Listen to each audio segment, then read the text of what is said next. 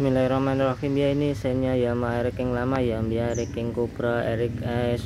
Ini kondisinya ini ori copotan unit om. Kondisinya jos gandos sekali ini om. Peting rumah petingnya masih bagus sekali ya om. Ya ini dratulir nyaman semua ini om.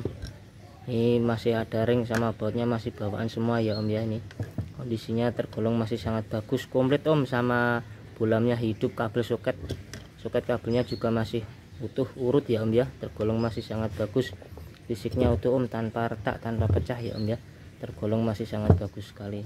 Siap pakai om ini om. Kondisinya jos gandos